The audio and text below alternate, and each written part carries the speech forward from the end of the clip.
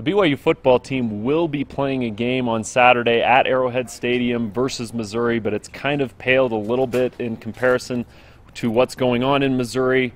Uh, for anybody who hasn't heard, Missouri players uh, threatened to boycott the game if the, the president did not step down due to some uh, social tensions that were going on out there, and, and that really affected what's going on. The impact of college football seems, and the, um, the, the uh, platform that it, it, it has seems to be growing larger and larger um, yearly and almost weekly. And then as the season goes on, it certainly, as playoff intrigue and the, the, the, nature of the games becomes more compelling, it seems like the stage or the platform becomes bigger. Uh, I, I, think that it's, it's good when people who are different and are uh, discriminated for their differences push for a change. So, um, like, like I'll say, as being different myself, like everyone else, it's it's cool to see um, a change. It's cool to see people group together in a group and uh, be able to push for something that's good. And that's kind of changed the entire tone of, of this particular football game, hasn't it, Darnell? It really has, and we noticed it right away on Monday. There was a lot larger media contingent that came to interview Bronco Mendenhall and the players to get their perspective on things initially, you know, Bronco had some great comments. I'm sure you'll cover that in your story later on. But um, the players were kind of like, hey, we're just glad we're playing, and, and we, we don't know all the details of the situation, so we just want to prepare ourselves. I mean, sports are a, part of, of human society, and, and they you know sometimes uh, transcend uh, the game. Sometimes it's more than just a game, and in, in different aspects. So it could be an example of that, and um, as also it, you know sports are used as a vehicle to get certain messages out there, and so I think that's definitely a case of, of that of using you know sports to, to get a message out there.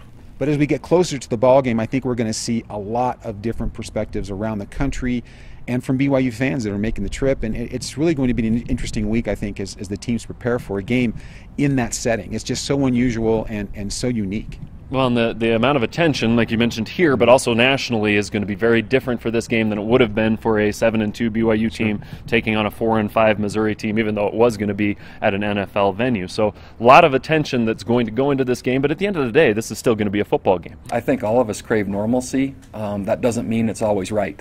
Um, so we're I think we crave normalcy and just to go on and, and at least we know now what the next opponent is, when we'll play, and. Um, and I think that's that's part of the healing process, maybe for everyone, um, and and so maybe maybe it can be a, a, starting point for for healing. So I assume there will be a lot of emotion, um, and like any rival, you know, against Utah, Utah State, um, any rival that we play, there's always a lot of emotion. And the way we match that is uh, by being aggressive, um, being um, assignment sound, and just doing not doing anything extra, but doing what we need to do and uh, playing hard.